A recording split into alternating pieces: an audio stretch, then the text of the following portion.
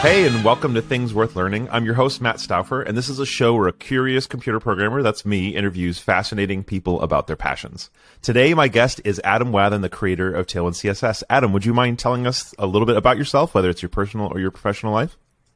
Hey, Matt, thanks so much for having me on. Yeah, um, like you said, I'm Adam Wathan. I'm the creator of Tailwind CSS, and these days I spend my time running a small company of people maintaining Tailwind and kind of our related stuff full time. Yeah. And for anybody who doesn't know, because one of the goals, Adam, that you may not know of this podcast is to make this appealing not just to people in the tech world. Tailwind is a way that people use. So CSS is something people use to style websites. So if you're going to like have a website and you want to make this thing green, this thing blue, you use CSS. But CSS has historically been really difficult for people to I mean, there's certain things I'd love to hear your pitch actually that you, mm-hmm. your elevator pitch, but it's been very difficult for people to work together as teams to have very consistent things that are also very easy for other people to maintain later. That's the biggest yeah. pitch that I've always given for it is, is that like no matter whether it's me or somebody else picking up two years down the road, Tailwind is the thing that makes it super, super, super simple. And of course, it'll makes it easy to get started at the beginning. But I should let you. Is there an elevator pitch that you give to people, or, or is that that a pretty simple version of yeah, it? I don't think I have an, an elevator an elevator pitch really i guess i would say that um, i think there's kind of two different parts of working with css one is knowing what all the css properties are what mm-hmm. all the mm-hmm. features are what they actually do when you use them and apply them to different nodes on a website yeah but then the more mysterious side of things which is i think where everyone always tends to struggle is how do i structure my css what naming yeah. conventions do i use what do I do to make things reusable? What should yeah. I base the names on? How many files should I have? Whatever. Yes. And that's actually like the really hard part. Mm-hmm. And I don't think there's a lot of well, there's a, there's a lot of people who have taken stabs at coming up with an approach for yeah. handling that side and put together recommendations and stuff. And Tailwind ultimately is another set of recommendations for how to handle that side of things. Yeah. And uh, in a way that I've found works well for me and seems to work well for lots of other people too, and happens to be somewhat controversial because it seems to be, in a lot of ways, doing things the way everyone told you not to do them for a long time, which I think was maybe why. Um, in my opinion, that's why people have struggled with this stuff for so long because there's yeah. been this sort of off limits approach. Yeah. And everyone's been trying to work in the confines of what they thought was yeah. good. Um, and it turns, it turns out, out, that, in my opinion, anyways, and for what seems to have worked for me, the uh, the magic bullet has always like been hiding in that off limits area. Mm, so that's good. Yeah. If anybody's really curious about the history of this, uh, Adam is the host of a podcast called Full Stack Radio, and the first ever episode was him kind of dry, describing some of the early ideas of this and me being like, no, that's terrible. I, you know, I was very embedded yeah. in the old way um, you know, the OO, CSS, and this other stuff like that. And then Adam and I worked together during that time he was developing Tailwind, and I like became a convert, and like I was like, give me early access to Tailwind before it's a thing. I changed my, I would like my website was one of the first websites the internet using it because I was so so converted from the old ways of thinking, and we've been using it since it was beta, and it, you know we're complete it's like I just want people who don't know Adam to understand that like what he has done has changed the face of like designing and uh, styling websites like across the entire internet. Like all your favorite companies use Tailwind for stuff. So yeah. you know, I just want to hype him up because if anybody doesn't know, Tailwind is a really big deal. Adam's a really big deal. He's a very humble guy, which I love and appreciate, but he's a big deal. Okay, so cool. So let's just move on to the question. I don't want to embarrass you anymore. So, do you have any sort of life mantra or phrase or idea that you try to live your life by? I don't think I can distill anything like that down into like a single kind of uh, tweetable phrase or anything, but something I think about a lot, especially lately uh, when I'm making decisions about things I'm doing and what I'm working on, is just is this actually going to get me closer to the life I want, mm, or is mm-hmm. this just something that I feel like I'm supposed to do Oof. because of external factors or yeah. external expectations, expectations yes. or, or, what I see other people doing or how I see other people defining success, you know? Mm. And it's become really important to me um, in the last couple years to really define my own version of what success in my life looks like and make mm. sure that I'm measuring my decisions against that and not against what I kind of see as a more abstract definition of success in terms of the rest of the world. I love that because I have joked with the last couple of guests that like this podcast is a little bit therapy for me. And that's certainly where I am right now. Like I'm 37 years old and I'm just now getting to a point of realizing I've been living the majority of my life according to what the people outside of me, whether it's religion or culture or whatever else, it, you know, tells me success looks like or tells me doing the right thing looks like. And so just learning that like a life lived allowing everybody else to define what success looks like for us would be one that I think we would regret, right? Like rather than like I found what I wanted, I found what was good for me and my family and I ran for it. So I love that. Thanks for sharing that. Yeah, totally. All right, so you know that this podcast is about one topic that you're really passionate about. Could you tell me what we're going to talk about today? Yeah, so what I really like to talk about today specifically is kind of how do I want to describe this? Basically, moving from sort of working for yourself to running a company mm-hmm. and how challenging that is, and how to, or at least how I'm thinking about trying to make sure that while making that transition, I'm still getting the life that I want mm-hmm. and not finding myself stuck with something that isn't actually making me happy because I think it is way too easy to land in that position yeah. when you're running your own business. Yeah, and that's super familiar. I mean, you and I have talked about this, and I've every single time one of my friends has gone off on their own. Um, first thing I say is like, you know, a lot of people think that, uh, you know, I don't want to work for a boss, and so then I'm going to go work for myself, thinking that, like, let's say you're a programmer, that that means you're going to go be a programmer, and, and like. Mm-hmm solo work, yes, but like the moment you start a company, you're now a business owner, like more than you're mm-hmm. a programmer, right? And yeah. for some people that can be a happy life and some people that can't. So I'm really curious to you, um, like what was the transition like for you? So you, you were an employee and then you yeah. left and then you, mm-hmm. um, you just worked for yourself for a while, right? Like you wrote yeah. books and you did stuff like that. Yeah. And at some point you decided, I'm going to turn Tailwind into a thing and it's going to become a company. Like what yeah. was the process like for you transitioning from that to, to, to founding a company basically? Yeah. So when I first kind of went out on my own, I wasn't doing freelancing or, or any of the sorts of things where it's really obvious why your time would be getting sucked up by things that you don't plan to do. Yeah. Like negotiating contracts and trying to find work and, yeah. and all that sort of thing. Um, I was, you know, writing books and creating courses and stuff, and those would happen in these kind of big sprints. And then mm-hmm. I would mm-hmm.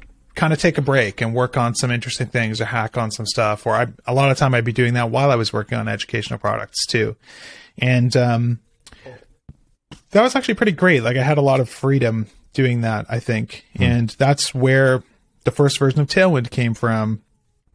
That's where um, me and Steve eventually had the idea to work on the refactoring UI book and had lots of fun coming up with ideas for how to teach some of that stuff and uh, you know working on other open source things rebuilding my own personal website you know all the yeah. little fun side projects i got to sort of fill my day with and that was that was actually really really nice and um, Then Tailwind came out and it really just took off as a mm-hmm. as a tool more than I ever sort of expected because I never really intended to even release it originally. Yeah. I was just writing it for myself for some other projects and I was doing some live streams where people were watching me build out some SaaS ideas and no one cared about any of the stuff I thought they were going to care about. Everyone would just ask me, "What's the CSS framework is this? What's the CSS framework yeah. is this?" So I decided to open source it and um, then I guess it was about a year and a half after releasing it, I decided I wanted to work on it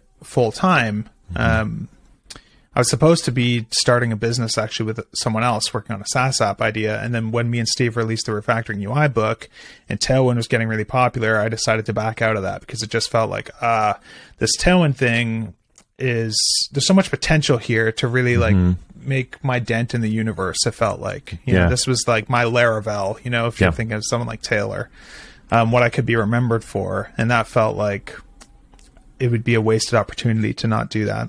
Yeah. So I worked on that just kind of full time, like getting to 1.0, working on, um, you know, I, some videos and documentation and adding new features and stuff like that. And the whole while that was all being basically funded by the info products and stuff that I'd worked on, like refactoring UI. The book I did with Steve continues to be really successful to this day without us really doing anything. Yeah. Um, so that gave me a lot of freedom to just kind of work on that stuff and not think about making money, which was like the dream. That's exactly yeah. what I wanted, just to be able to work on the things I find interesting and not really worry about the financial side of things. And uh, me and Steve wanted to make some Tailwind UI or like Tailwind components, Tailwind mm-hmm. templates. We had this idea just to, if honest, if honestly, only to make the community grow and mm-hmm. kind of add more awesome stuff. We wanted to design a bunch of stuff, build it, and, and release it. And yeah. it made sense to do that commercially, I think, because of course the info product stuff isn't going to sell for the rest of time. Yeah. And me and Steve were already in business together, and that was the perfect kind of overlap of our two skill sets. So we started working on that. And I, I never really had huge expectations for it. I didn't think it was going to do as well as refactoring UI, for example. Mm-hmm. But it did way better than refactoring UI, actually. Yeah. And we found ourselves in this position where it was like, holy crap, we have a lot of expectations on us right now. We have mm-hmm. all these support emails coming in. We have issues being opened up in Tailwind. We have people wanting new features because there's so many people using it now.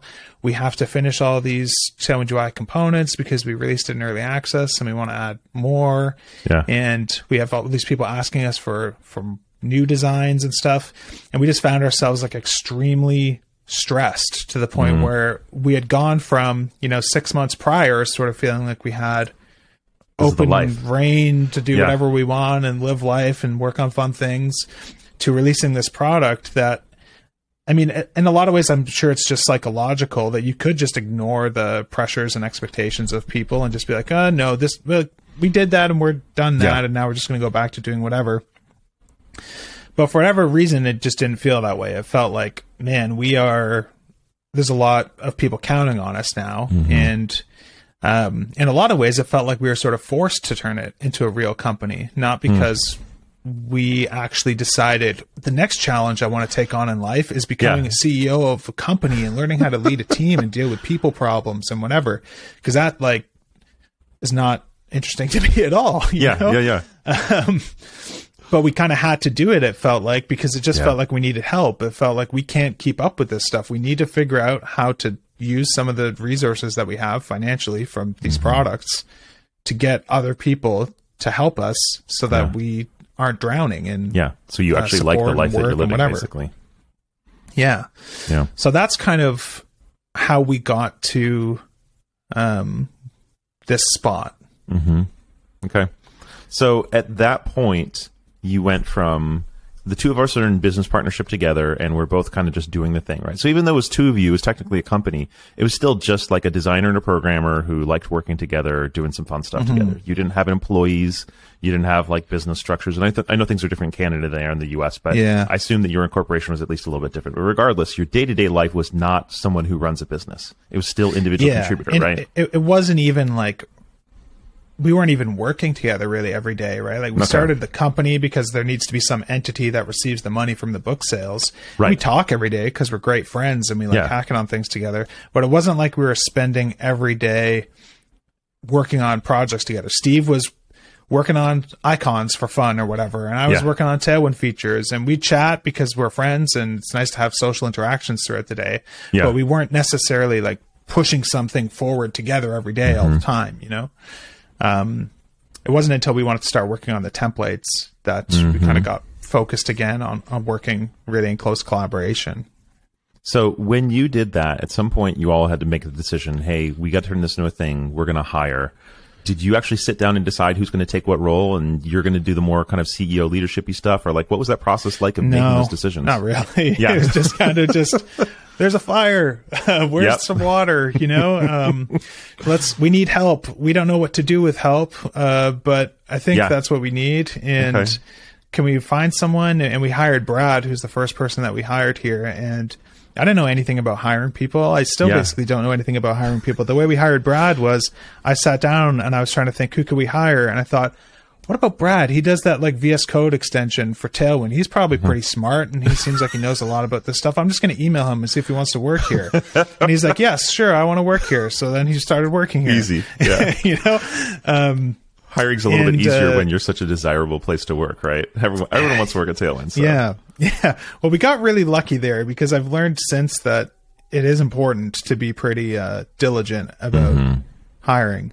Yeah. Um, but uh, yeah, so we didn't take any of that stuff super seriously in terms of trying to do things right or figure out who would do what role. It just kind of felt that there was so much stuff to do that we needed to needed help, and I found out pretty quickly that having help is helpful, but it creates more work Yes. still. You know, Yep. um, and that has been probably the biggest challenge is figuring out how do you get help without it turning into more responsibility and more work because that's naturally what happens when you involve more people. If you're not very very deliberate about creating systems and stuff for um, making people able to provide that help without you becoming a bottleneck for it still you know?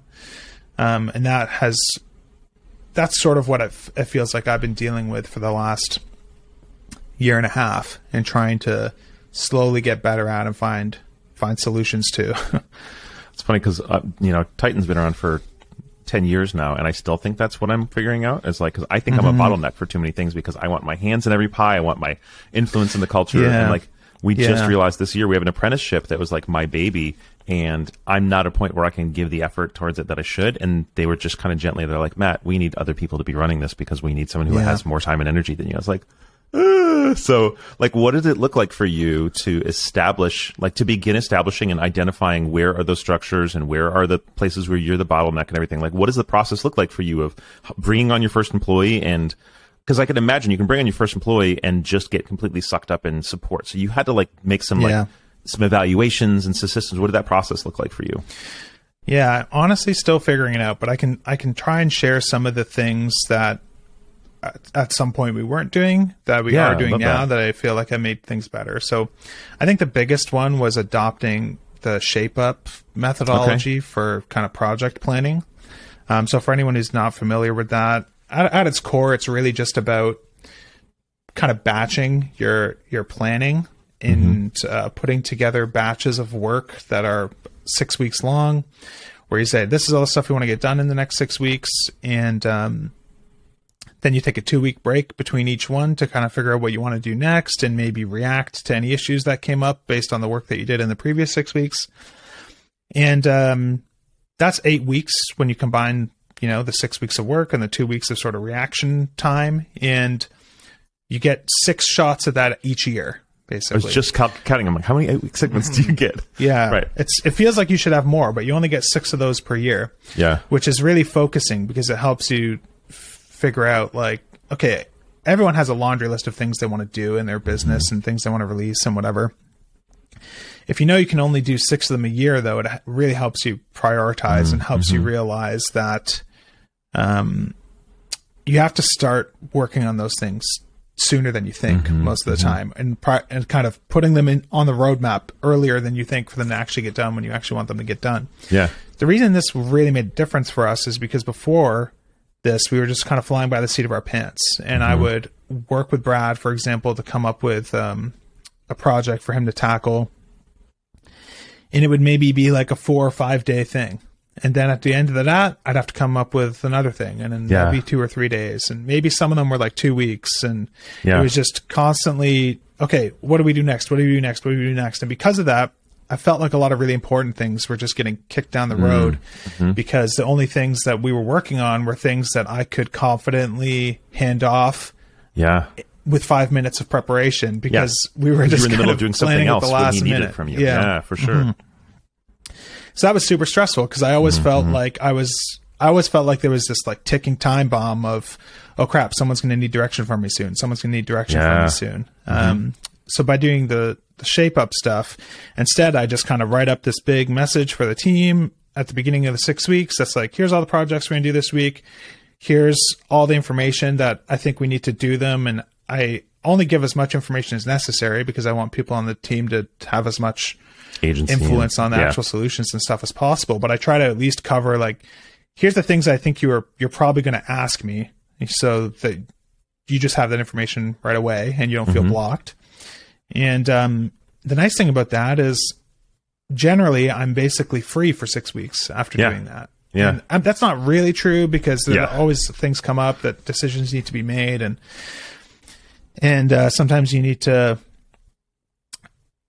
kind of make sure that uh, we're prioritizing things properly and and stuff like that because uh, there's only it feels like the job of my job is to sort of have this big picture view of everything that's happening and whether things are Mhm. happening at the right time or whether too much time is being spent on this that that person wouldn't really have any idea if, if they're spending too much time on it or not because they don't have the full context of Yeah.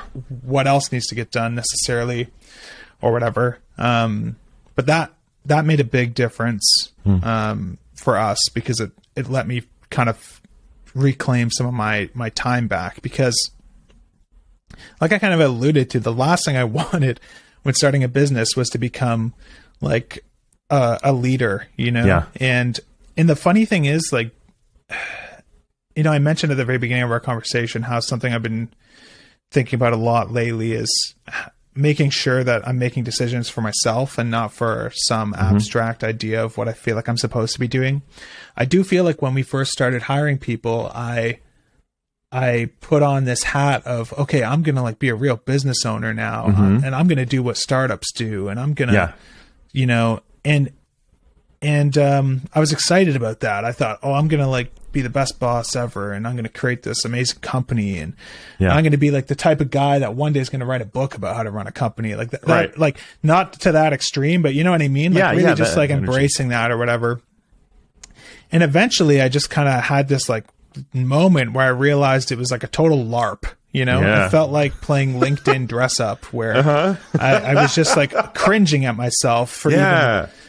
believing in my head that I was this business guy or whatever. Mm-hmm. and it, it was just like so embarrassing to myself. And when I knew really what I want to do is wake up every day and do whatever I want Yes. creatively on whatever I find interesting. Yeah. And that all I really care about in terms of building a company is making my own life better. And, and that sounds like selfish or something, I think, which is a hard thing to to wrestle with because I think and I was super guilty of this too before I started my own company. There's there's a lot of just um attitudes that exist out in the world from people who have never worked for themselves or tried to build a business where all sort of business owners are these like fat cats who kind of are just like sort of taking advantage of people and paying people as little as possible so they can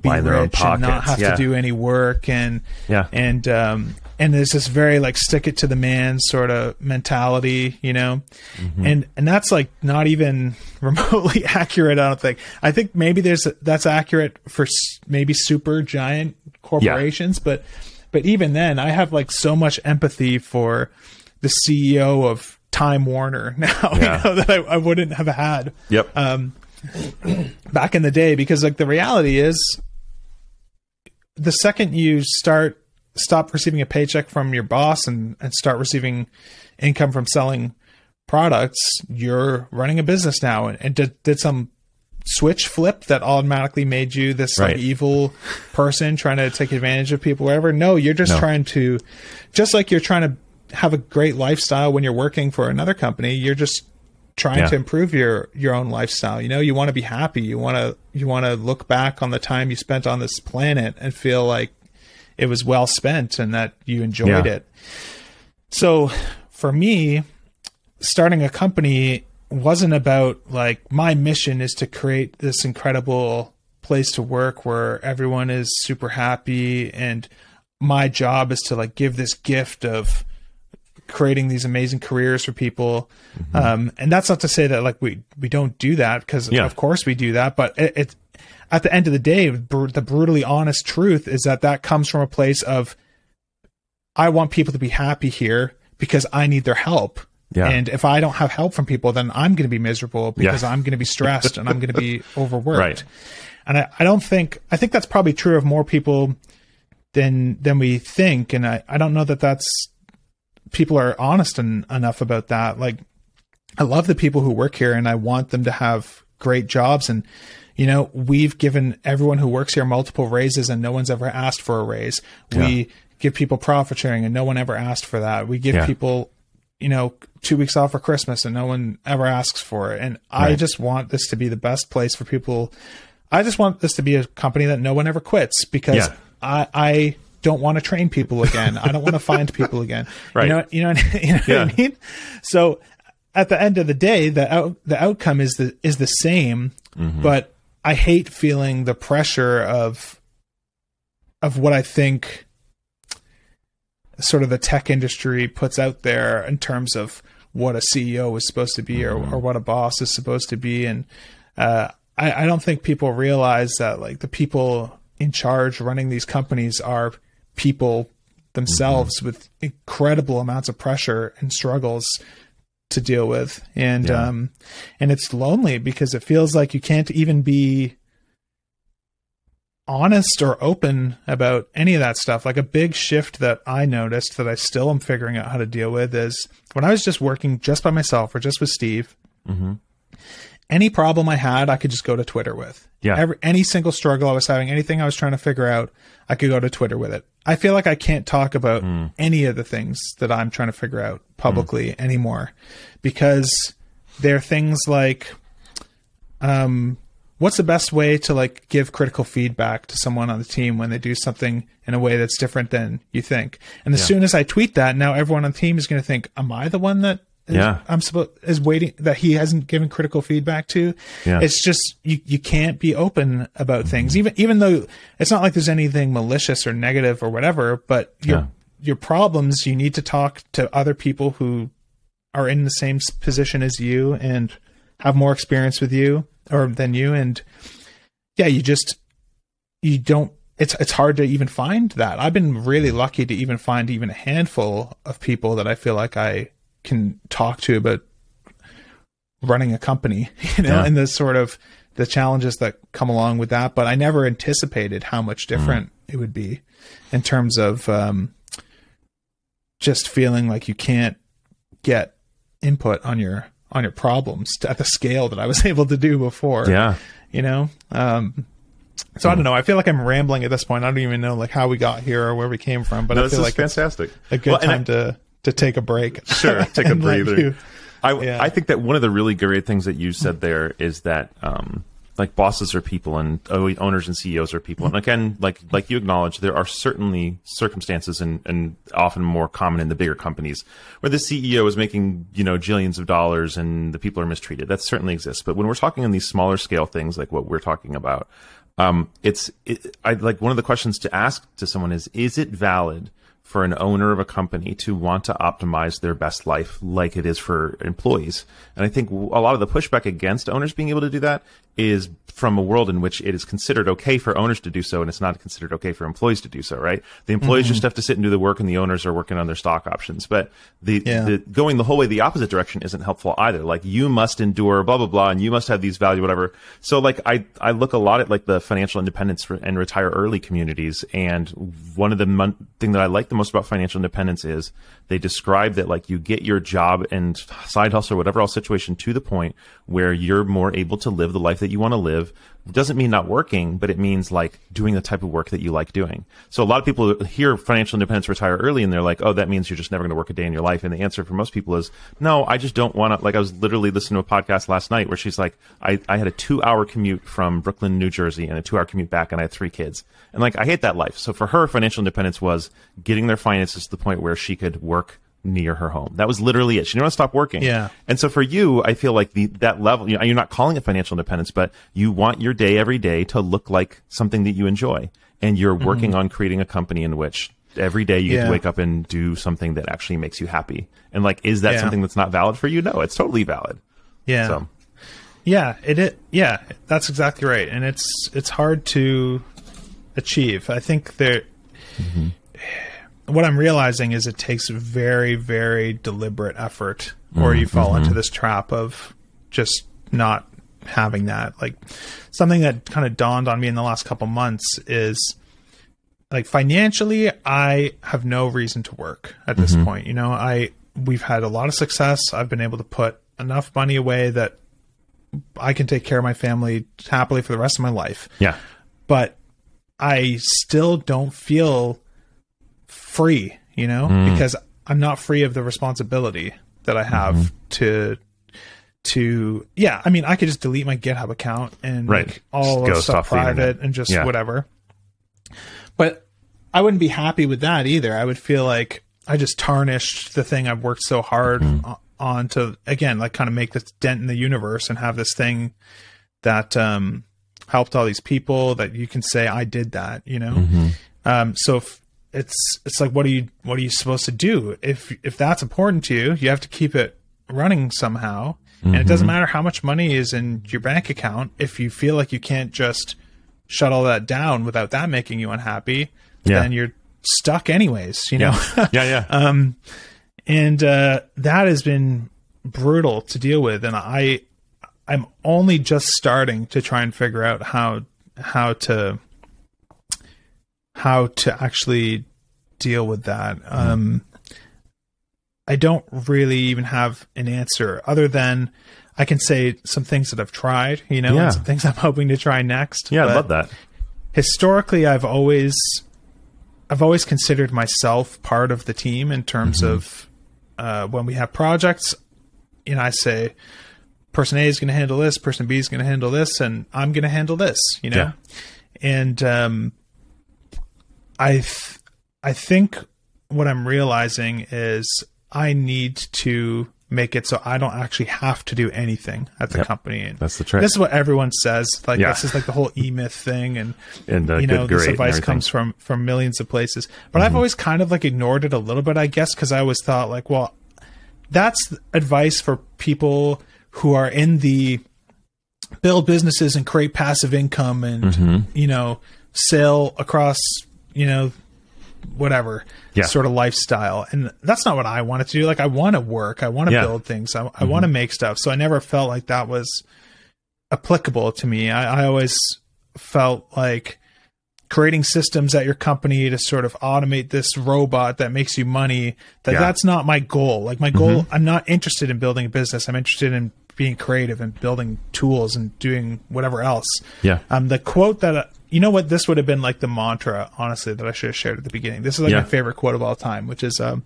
from walt disney actually Huh. which is that we don't make movies to make money we make money to make movies um, That's cool. and I like that. that is Wow. 100% how I feel with the stuff that we work on. Like Mm-hmm. the only reason the Tailwind UI templates cost money is so that I can afford to keep making more Yeah. Tailwind stuff and Yeah. whatever, you know? I think a lot of business are businesses are the reverse. It's people Mm-hmm. looking for opportunities to create something that can make money. And that's totally fine. Yeah. Everyone who wants to do that is in the right. They're trying Mm-hmm. to create a lifestyle for themselves. They're trying to figure out how to spend their days doing what they love and not kind of doing a job they don't like or whatever. Mm-hmm. Yeah. Um, but for me, it's it's like I, I guess that the in in some ways it's like the same thing, you know, because I I just want to spend my time doing the the things I love. It just how Mm-hmm. happens to be the things that I love are the things that benefit the company that we're Yeah. able to to sell and stuff as well. Um, but yeah, whatever what I'm realizing now, I think, is that the only way for me to really feel free is to feel like I can step away from the business for six weeks and come back and ask that. have Yeah. the business be better. And I don't Yep. feel like that yet, but um, I work with like a coach who helps me with a lot of this stuff, and she Mm-hmm. has been harping on me for like a year to say, "I think you need to take a break. I think you need Yes. to take a break." And something I've always told her, which I still believe is true, and I tweeted something about this the other day in reply to someone else, is that a lot of the breaks people talk about when they say this stuff is like you need to you know take two weeks off and like relax and go on vacation or whatever. Mm-hmm. But when you when you own your own company and when you have a family with two young kids, I feel like vacation is like way more stressful than work. Yes, um, there's no like, there's no relaxing vacation. You yeah. know, there's no. I, I remember the last trip me and my wife took before we had kids. We went to Clearwater Beach for a week, and we just kind of sat by the pool yeah. Each with a book in our hand for like yeah. three hours at a time in the sun until we felt hungry. It's like, are you hungry? Yeah, I'm hungry. Yeah, let's, go walk down the beach until we find somewhere to eat. Just like the most relaxing, like my favorite trip we've ever been on, right? Yeah. I've never once felt like that relaxed since uh, no, definitely not. since the kids were born, you know? and I think it's going to be many years until until we get to have that again. But anyways, what I've been talking about with the, my coach is you know, she's like, you need to figure out how to be able to take two months off where you don't talk to anyone at the company effectively. Mm-hmm.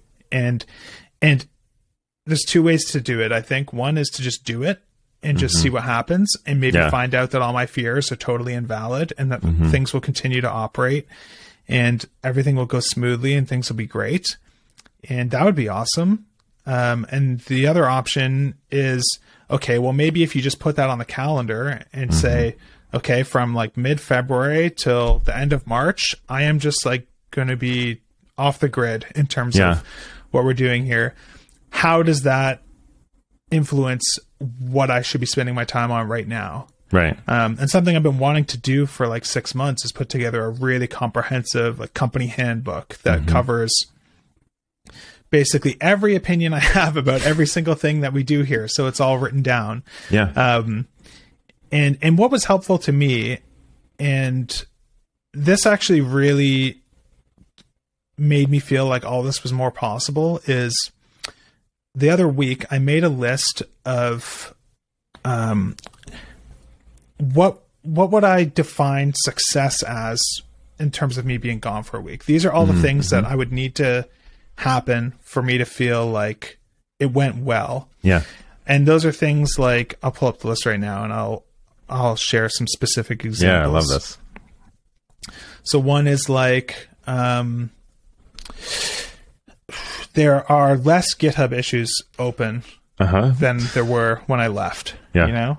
Or even something as simple as everyone was paid on time, yeah. you know? or um, yeah. a well written marketing email is sent out for a Tailwind UI update that matches or improves on the style of marketing emails I normally write. Yeah. Or um, Let's see. A new headless UI component is added with an, an API that I didn't design with great documentation mm-hmm. that fits well with the existing documentation. Mm-hmm. And before I wrote this list, these were all just like abstract fears kind of yeah. trapped in my head of like, that won't well, happen, this isn't going right? to go well. This isn't yeah. going well. This needs me. This needs me. But as soon as I wrote all this down and I started going through the list, I felt like all I have to do is write a document for each one of these bullet points that mm-hmm. includes everything I think is important to make sure that this is possible to happen yeah. without me here. Yeah. And um, that was a real shift in my mindset of what was possible in terms of being able to yeah. break away from uh, the the company because I don't want to not be involved. You know, I mm-hmm. want to work on this stuff every single day, but what I'm realizing is the big source of my stress is I feel like I am required, you know, mm-hmm. and that is is not a good feeling. You want to feel mm-hmm. like, well, if I don't feel like doing that, yeah. that the company isn't going to die as yeah. a result. And um, I also want to believe that the more time that I have to not be working on sort of just the day to day writing emails, writing documentations, yeah. closing GitHub issues, blah blah blah blah blah. The more I I think I can actually offer more to the company. Yes, you know, only um, do what only you can do, right?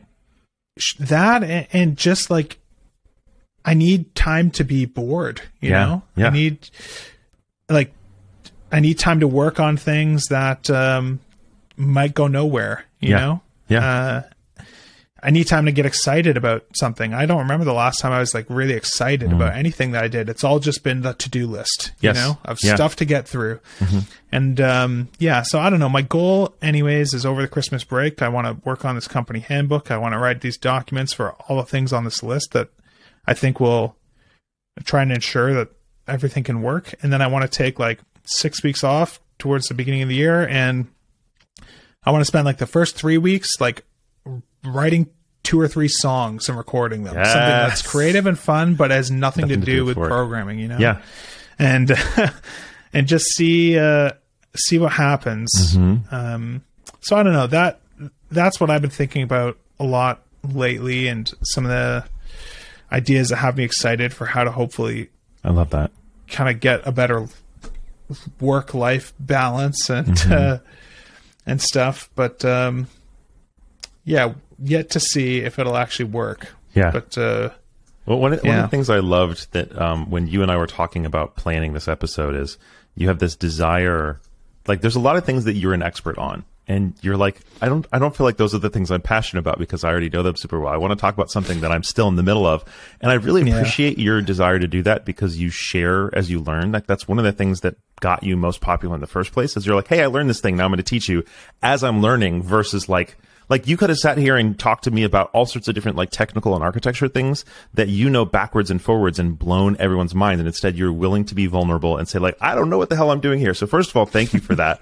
but second of all, I think it makes it a lot more interesting because when we tell the stories afterwards, we often forget like this moment of like, I'm not yeah, sure and whatever. Cause like we're not looking at it after your six weeks telling us about how great it was. Um, I'm really excited for you. I mean, it, it, I didn't realize how similar states that we're in, but my executive coach has been like, I, there's this book, Good to Great, and talks about how these um, the most successful companies do well when the charismatic front leader is able to step away and everything still continues at the same quality level. And so then it asks me, leads me asking these questions of what are the things I'm anxious about not going well. So I took a day off and then I took a week off and I'm trying to get to the point where I could take a month off. And again, just like you, like I would like to, you know, spend a little bit of time on a beach or something like that. But just like you said, like I miss when I was doing a recording live stream, you know, live stream videos about some new technology I've never worked with. Like I picked up NFTs and crypto purely because yeah. it was exciting to me and because I was like, this is something nobody knows. There's no documentation. I'm just going to have to teach myself. Oh, cool. Let's do it. Yeah. So I totally feel you on that.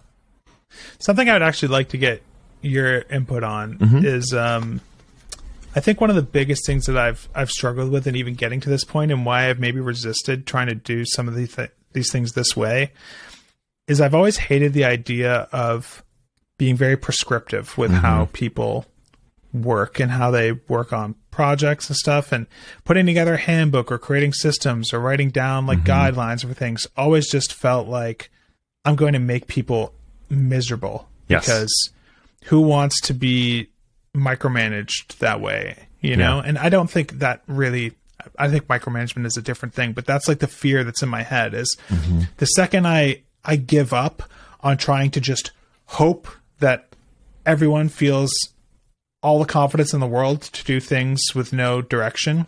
Yeah. I've succumbed to like becoming this horrible company where mm-hmm. um, everyone has to do things in a specific way and no one gets to be creative and and whatever. Mm-hmm. And I mm-hmm. think I think that's totally unreasonable and I think it's just like an exaggerated polarized version of two possibilities, you know? Yeah. But what what I think actually changed my mind on that and the, I'm curious to see if you remember this because this is uh, it's related to my time at Tighten. But yeah, I started thinking like, okay, well, I what would I want if I was an employee? I, I would want to feel like I could do, have total control over things and make decisions on things and do things, you know, my way and up to my standards and, and blah blah blah blah blah. Mm-hmm. Um, but then when I actually think about real experiences I've had at real companies, I think like the most frustrated I've ever been at companies is when I when I feel like other people aren't telling me the way think they want things done. Yes. You know? Mm-hmm. Yep. and I remember at Tighten, just like, I, and, and, the funny thing is, like, I think I'm worse for this than the average person. And yet yeah. now I run a company where I want to give everyone full autonomy over everything. Mm-hmm. But I remember uh, when I worked at Tighten and, and when I worked at other places, I felt like I was always asking, like, would you put this in this file or would you put this in this file? I want to do things the way Matt would do them because I want to make sure Matt's happy with it. And uh-huh. you, know, what I mean? Um, uh, that's so funny. So um, when I think about that, it, it makes me think like, well, maybe putting together a handbook or creating systems is is going to do the opposite of what I feared, mm-hmm. you know. And I guess that's what I hope. I think it, it gives people confidence to do their work really yeah. well instead of being constantly second guessing if they're doing things the ex- way that's expected or or not expected. Yeah. And I'm sure there's a balance, um, but I don't know if that's something you think about much, or if, yeah. or if my memory of that lines up with your memory. No, it, it, does, and I I love that you asked it because we're in the middle right now of writing more processes, and I'm I'm very anti-process because I don't want to be like, well, we had this one like Dave Hicking who works at Tighten often calls it organizational scar tissue. We had this one thing happen wrong, and now we're going to make a process to ensure that it never happens wrong again. And you end up basically like with a with a restaurant with signs everywhere, must wear shoes, mm-hmm. must not throw bubble because they just all the things that that happen, and they're like, we don't want that kind of company, but like it's funny because when you would ask those questions, there's a combination of me being like, yeah, like I want everything to look the way I want. Also, like I learned an incredible amount from you as a programmer when you were working for me. And I was like, if you only did the things I did, we would be worse off. And I think you also knew that while we are there. One yeah. of the things I've found is that you can set the baseline and then give people agency and trust to diverge from the baseline when they believe that it's for a good reason. So rather than them always having to ask, like, what would Matt want? Like we, you, like literally one of the things when you did there was built a, a continuous integration service that we were joking was just kind of like Matt's code reviews as a, as a continuous integration yeah, service, right? Sure. it's like, let's, let's all know what the baseline of like what the things are that Matt or Adam wants so that when someone needs to ask that question, it's just very clear. It's like, yes, this is what he wants these are the baselines. These are the expectations. And if you just wanted to follow the rules, you can just follow the rules. But you're a grown human being. You're able to a like ask for these things to be changed, so people know like if there's a code style thing or whatever that I implement, and, and code style simpler, but the start there and they disagree with mm-hmm. it, they'll just say it and they'll say, actually, you know what? Because yeah. of this or, oh, things are changed. I'm like, cool. Sounds good to me. Right. Like it's not as if I'm defining this as the be all end all. It's like, this is our starting place. But further, yeah. like in a particular circumstance, if it depends, which, you know, which is like true for all of programming, ends up being the answer in this one, you say it depends and this one depends a different way, then they just do it. And they, they don't worry that I'm going to hound and say, didn't you see the handbook says that you're supposed to do blah, blah, blah. So I yeah. think if you're giving people like, you know, like the best creativity for musicians doesn't come from just playing shit. It comes from knowing how to do all the perfect chords and the perfect riffs and doing it right. And then knowing when to break the rules. I feel like it's the same way there. Like setting mm-hmm. up the basic foundations and then trusting them to know when to go from it. I think is I I mean and yeah. you, like hearing it that way does it make sense to you as someone who's no, been in that does. situation? Yeah. I like that. I think it it makes in my mind I'm thinking like okay, here's all the answers to every question you might have so you have it and you don't feel like stuck or that you have to ask. Uh-huh. But um if you have a better idea, like just do, do that. This yeah. this isn't here to control you. Yes. This is here to to remove friction on the mm-hmm. path mm-hmm. to getting the thing done. You mm-hmm. know, that's the only goal of yeah. everything that's written down here is to like give you all the information you need to make the best decision, not to mm-hmm. um, prevent you from doing things in a different way when you know there's a better way yeah. to do things. So I think that's going to be a power, an important and powerful thing to communicate um, as part of this whole project. I love that. And I know we're, we're short on time, but one last thing I want to add. It's uh, I know it's harder for Tailwind to do this, but at Tighten, the thing that is making it easiest for me to step away is levels of leadership, which was also something I rejected for ages. I was like, we're going to be flat. Mm-hmm. It's going to be me and Dan and the employees, right? And what I discovered was, um, like have, we have apprentices, we have staff or mid programmers, we have lead programmers, we have a principal programmer. So just from a programming perspective, not even looking at the project management side or ops side, um, we have all these levels. And previous, I would just say, I just want my fingers in every single pie. I want to be managing everybody. But now I've gotten to the point where, like, for example, I used to be on every single project call for every single client and read every single GitHub pull request that came in from every project, the entire company. We have, I don't know, 30 people or something like that. I can't do that. And I only stopped doing that very recently because I was like, wait a minute. We have lead programmers in place who I trust who I know will bring a question up to me if they need. So now there's that layer of disconnect where like the, uh, the lead programmers know what I want or know how to do things well much better than the staff do, much better than the apprentices do. So I trust them to be like a little mini umbrella over a little mini umbrella over the particular piece of the project that they're on. And so mm-hmm. I don't mm-hmm. worry about having my, so I stepped away. I like unsubscribed from a whole bunch of channels. I unsubscribed a whole bunch of GitHub things. But then I was like, yeah, but that's only a project base. But then Keith, um, who used to be a senior programmer is now a principal programmer and his job is to kind of be the umbrella over all of them. So he now handles a lot of their one-on-ones and he's the one they can go to if they get stuck. So yeah. again, now I can step away. And even if what we have defined is not there, they now have a person to go to to ask those questions who's not mm-hmm. me. So now I can step back a little bit further. Totally. So it's yep. not always just about a process. It's also about trusting people. And you mm-hmm. may end up finding yourself in a place where you take one of your programmers and say, you know, like, and I don't know, because again, you guys are small, so that might not make sense, but something yeah. that allows you to not just put a system in place, but also sometimes put a person in a place to be able to help you with that. Yeah, totally. I've, I'm already finding that because um, I think what I wanted for the longest time was how do I get everyone at the company to know exactly what to do all the time without being told anything? Yes. Yeah. You know, how yeah. do I just get people to know that this problem is more important than this problem or this problem is more important than this problem? I just want everyone to know that because yeah. I feel like I'm the only one who knows all that stuff. Mm-hmm. And um, it was it was demoralizing basically feeling like I couldn't come up with a solution to that. Mm-hmm. Um, because I think at the end of the day it's just it's not totally realistic, mm-hmm. you know? Yeah. But what I realized eventually was that, well, it's not so much that I want everyone to always know exactly what to do without anyone offering them any context or any direction or anything. It's that I don't want to be on the hook for all of that yes. myself, you know? Mm-hmm. So that doesn't mean that everyone has to know everything all the time. Yeah. It just means that some things I need to know that I don't have to know about. Yes. You know? Yeah. And there are a lot of things that we've I've successfully like removed myself from, like customer support. Mm-hmm. I I haven't logged into Help Scout for months at all. Yeah, you know, which that. is wonderful. Um, and I'm trying to work towards more of those things being totally off my plate. Um, but that was like a breakthrough for mm-hmm. sure, realizing that hierarchy exists uh, for a reason. Yeah, you know. Yeah. Um, in terms of just, uh, yeah, it's easier for me to have three people that I talk to, and those three people to have three people that they talk to, than yeah. than to try and make everyone magically know what's going on and what yes. should be happening at all times. Um, and you can also yeah. give those people like some time and some space to take responsibility for that work and do less individual contributing. So you're you're mm-hmm. starting them a little bit on the process of step away from individual contributing a little bit, be a little bit more responsible for helping other people, but not to the degree that I am, right? And so mm-hmm. they can get a little bit of that taste without you pulling, fully putting them like in a CEO role. Um, and so they you're not just putting stuff on their plate without kind of you know like giving their space for it. So but that means you have to be intentional about it and you have to be you know like we're doing this there's a name. We're telling everybody this is the person you go to if you have a question about XYZ. We're giving them some freedom and space and, you know, what, and extra pay or whatever to be able to do that thing. But then now they've accepted that as part of their responsibility. And then now they come to you when they're stuck, which is much less frequent because you picked people that you trust to be in that space.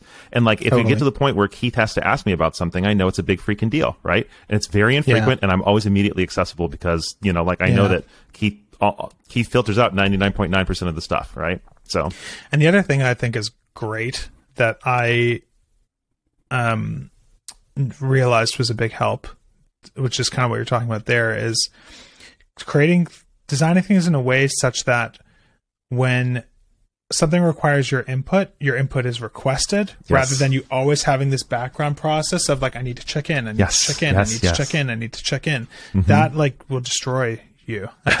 you know, that's yeah. the most exhausting thing in the world is feeling mm-hmm. that way. So, um, you know, we've c- tried to create systems, a few systems here that have, have helped with that. I think.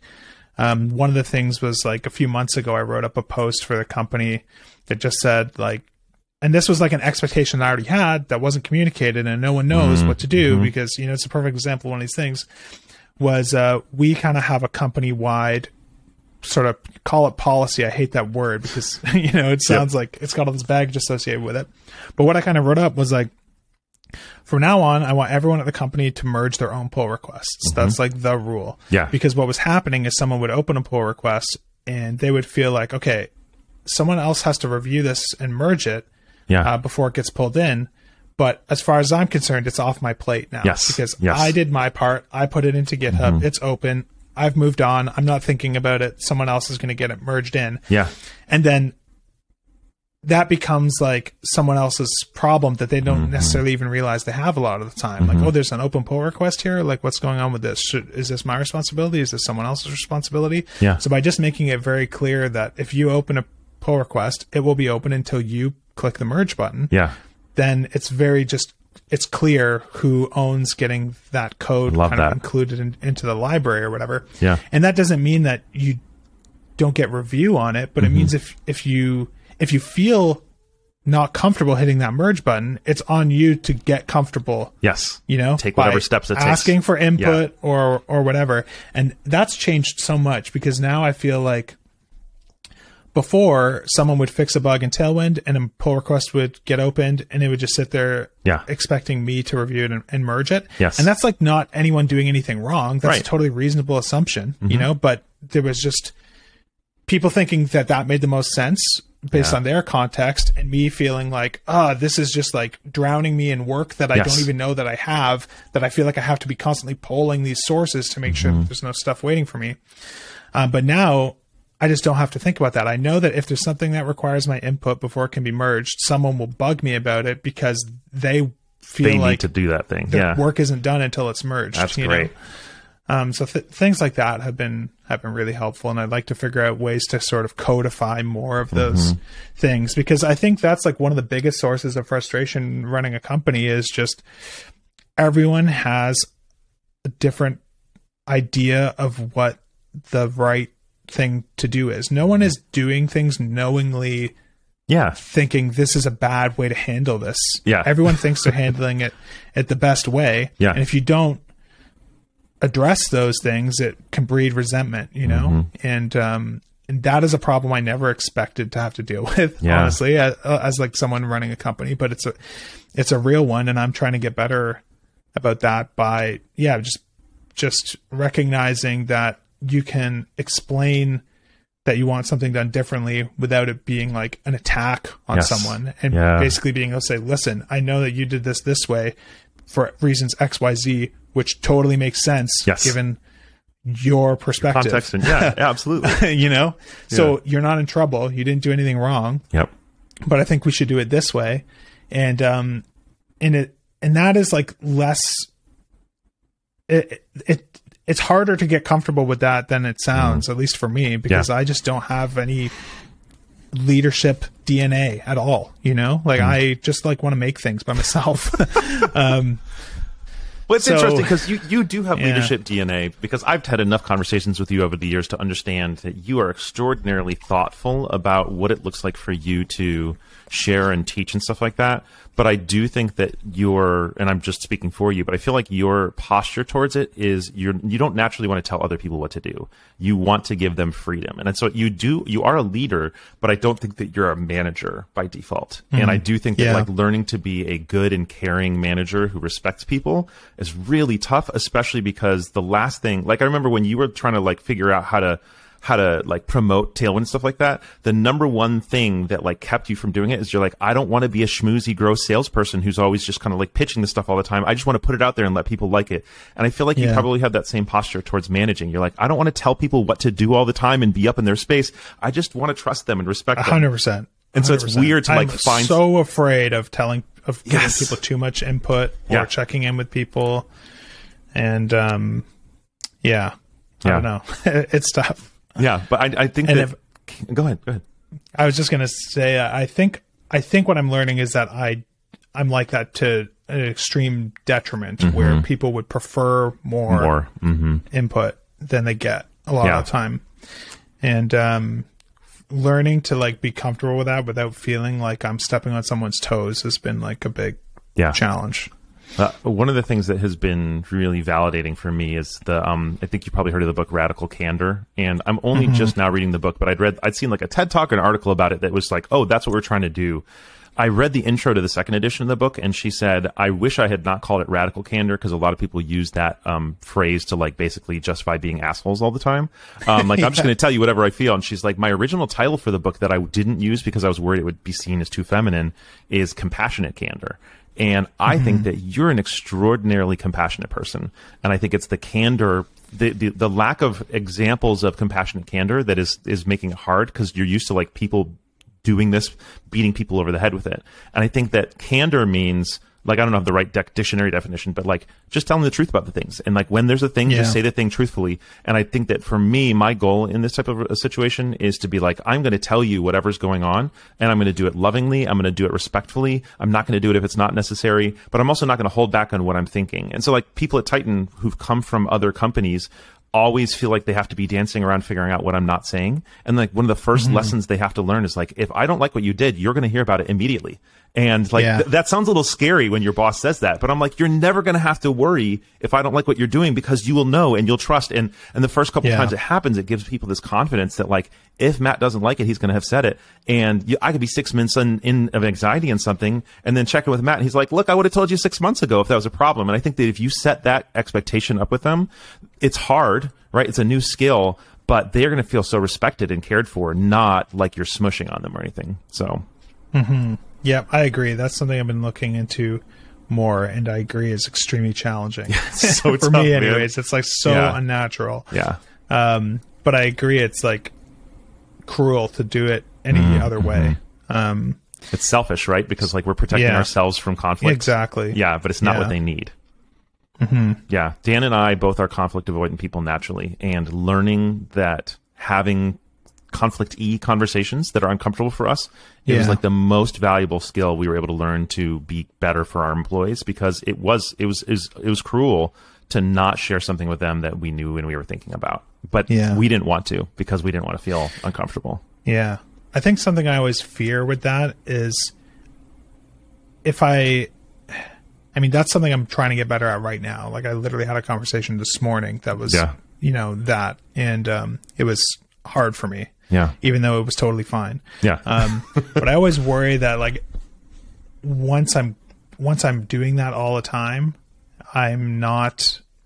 I need to balance it out because mm-hmm. I don't mm-hmm. want people mm-hmm. to feel like the only time they hear from me is like when something yeah. didn't go the way that I want it to, and then they're going to hate working here, and then they're yeah. going to quit, and then I'm going to be sad. Yeah. Um, so that's something I would like to figure out how to how to balance because I I kind of feel like giving people positive feedback is not natural for me mm-hmm, either, mm-hmm, you mm-hmm. know? And I don't know if that's common for for other people or what the kind of reason for that is, but I feel like when I feel like a lot of time it's um it's never not genuine, but it's not natural. You mm-hmm. know, I feel like I'm like I'm saying something that is out of character for me. Like, yeah. if you knew me really, really well, you'd be like, this isn't Adam not, yeah, saying okay. that. Like, even though, like, of course, he thinks the work that you did was really good.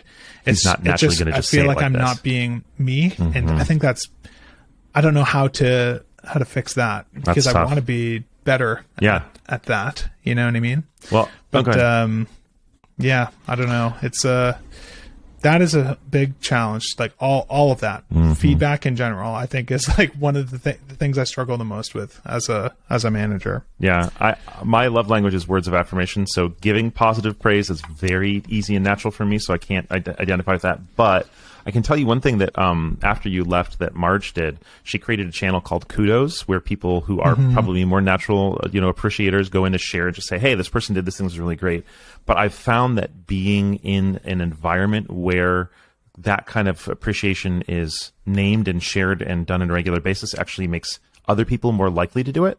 So you yeah. may find that like creating structures and spaces for people to share that where you're not always necessarily the one doing it will first of all help the company environment, but also, also maybe make it easier for you. But you could also mm-hmm. just say like set a Friday reminder that says every single Friday, like like my my kids' schools do this, like shout out somebody on something that they did really well that week, and it just becomes a Friday yeah. thing. So it's less like oh Amazon, you know, sorry, I just read Amazon on my email. Oh, Adam's doing something really weird right now, and more like no, Adam has set up a thing where he's intentionally defining a culture of appreciation at this company, and every Friday he's going to tell about something somebody did well. So it is notably structured. Like it's not going to be like, oh, he's doing this really freaking awkward thing. Interesting. But it's structured in a way that is, but nobody would ever doubt that you believe the things that you're saying, you know? Yeah. And then you don't have to mm-hmm. remember it. It's not a pressure that you have to remember to do sometimes. Mm-hmm. Every Friday reminder goes off and says, go give somebody kudos. Yeah. No, that's a great idea.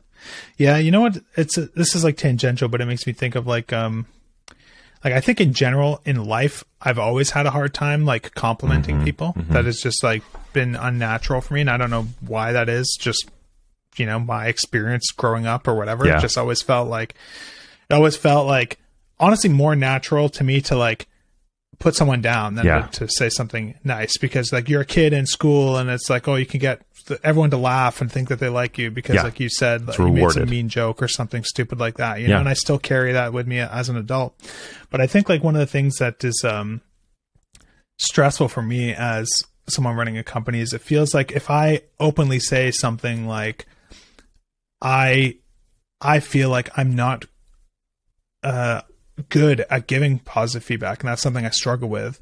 My my fear is that someone's going to say like, well, if you don't have that skill, you have no business running a fucking company. Like, who do you think you are? Blah blah blah. Yeah. Leaders are supposed to be compassionate, whatever. And it's like, Yeah. I didn't want to fucking run a company. Yeah. I just wanted to make a didn't sign up CSS framework. I was forced into it.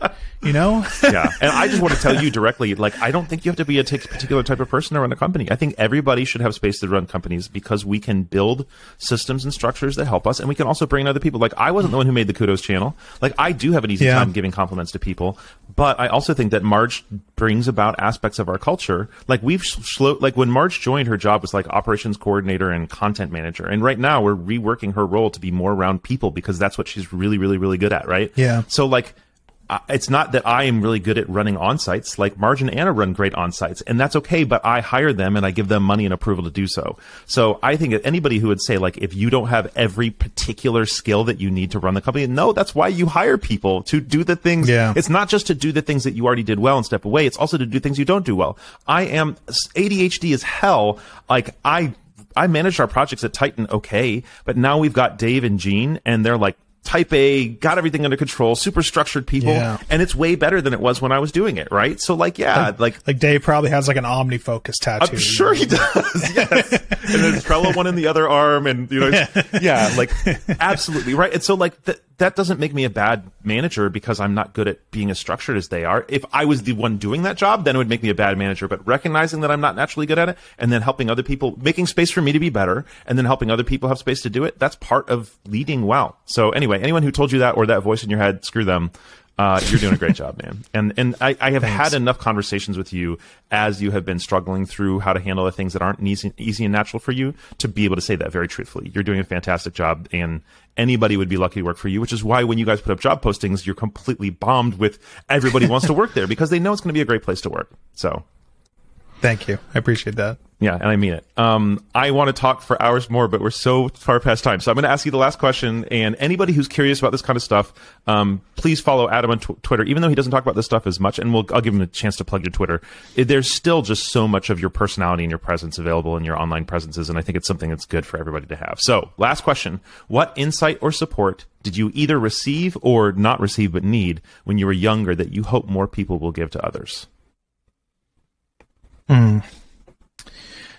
I don't know if this fully fits in that category, but when I think about like my experience growing up and how it was maybe different than other people's and how it helped me get where I am, I was really fortunate to be in like a gifted education program my entire time that I was in school. And the thing that I remember most from that is we for like four years. I think it was like grade five, six, seven, and eight when I was really in the totally full time program. Every single Friday was this thing called negotiated learning day, Okay.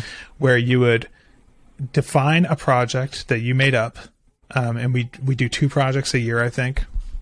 We'd make up some project, whatever the hell we wanted, could be literally anything. Yeah. Uh, you pitched it to the teacher, and they always said yes, or helped you kind of scope it down or refine it or make it better or whatever. And every single Friday, we got to work on those projects in a different room in the school with no adults in the room the entire Wow. day, um, doing working on it ourselves, um, kind of d- defining our own progress and doing it wherever we wanted. And I think like if if I didn't have those experiences growing up where I was like given the freedom to create, I don't think there's any chance that I would have landed Wow. where I am now. And even in high school, when we were still in that program, we were given two weeks to stay at home and work on something ourselves. Wow. Didn't even have to come to school, miss Yeah. every class for every other course, whatever.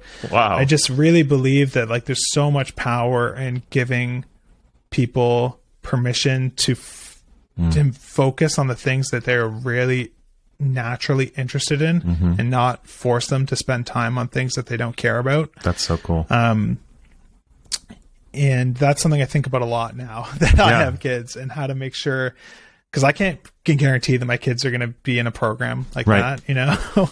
um, so I, I don't know how to, how to solve that problem, but it's something that I think about a lot. Is how do you how do you double down on people's interests instead mm-hmm. of forcing them to focus on on their weaknesses. I, I think it's natural to tell people, okay, well, you got a C in this class. Well, that means you That's have to spend to all your time yes. studying geography because you got a C in it. Yeah. But if you got like an A plus in programming, then go spend less time a in it. Plus right? in music or something, you don't need to spend as much mm-hmm. time on that, right? It's like if this kid got an A plus in programming, then we should be like signing him up for a, programming club that he can yes. go to on the weekends. Yes. Not yeah. signing him up for more geography, geography tutoring, you know? yeah. That's my opinion anyways. So that huh. I feel like I got a lot of that support mm. when I was I was a kid uh, and got to spend a, a lot of time doing the things that I was really excited about and that created this kind of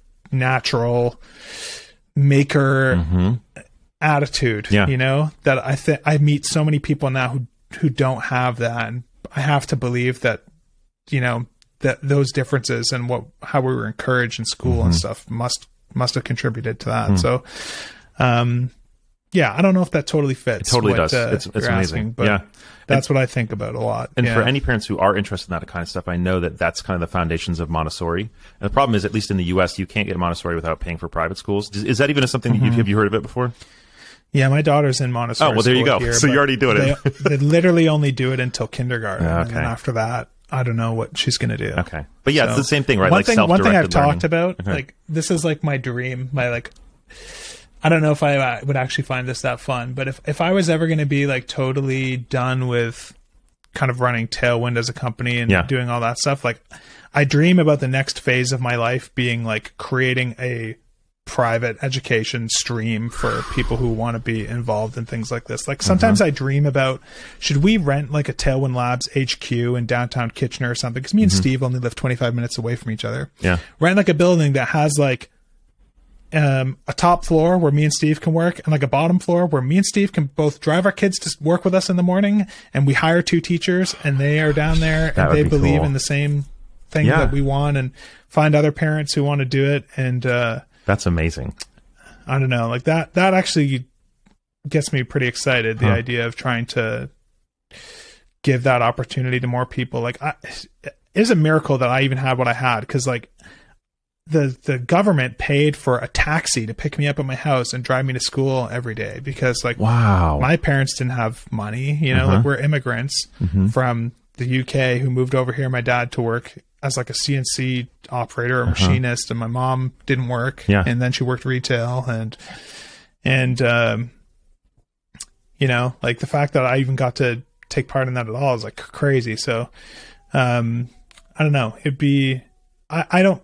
I have a lot of skepticism around the public education system. Yes. Uh, that most people go through, and uh, I could see myself getting more excited about spending time in that in the future. That's really so, interesting. I'm yeah. really looking forward to hearing more about that if that's something that you do. You know, I got young kids and they're in the public education system, but one of the things I did was like when we moved to Atlanta, I spent months researching what schools I wanted to put them in. And then I, I picked mm-hmm. everything around the schools because I'm like, there's so many other things we can work around. We can live in a smaller house. We can, you know, whatever. But like, if I can't get them this educational experience, and of course, lots of parents are that way, but like, you really want to set them up well and we can recognize like you just did like how much those experiences like my kids are at school more than they're with me every day right so like yeah. that's a, that's a pretty freaking important thing but i'd never even had the mm-hmm. imagination that you're having here it's really cool so i know we're cool. super late and i'm sure you have work to get to but um, this was freaking fantastic so if people want to follow you if they want to support you if they are interested in tailwind or if they're just interested in the way your brain works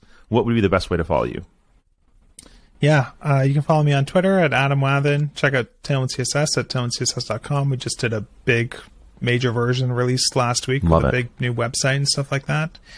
And um, yeah, that's kind of it. Yeah, Full Stack that's Radio. I, I, know that you're not making new stuff right now, but if anybody's uh, interested, fullstackradio.com has like what, 150 episodes or something like that. Yeah, lots of really of, good stuff. lots of content. Yeah, I'd, I'd, like to keep doing that occasionally. Good. I think. Okay. Uh, yeah, I think there'll be like a couple episodes a year, yeah, sort of thing. Just when like it when it comes up, you'll just do it. Yeah. Up. Well, definitely if yeah, you're into, especially so. as a programmer, but even if you're not a programmer, there's someone there that you know just skim through the episodes and look through the, which titles would make sense. But it's a lot of really great stuff. And I will be very direct and honest that Full Stack Radio was very much an inspiration for making this show because I was like, I want to sit with fascinating people who I, I just want the excuse to talk to people who I you know admire. So thank you for all cool. your inspiration. and thanks for hanging out today, dude. This was a ton of fun, and I do think that I and everyone else is going to learn a ton from it.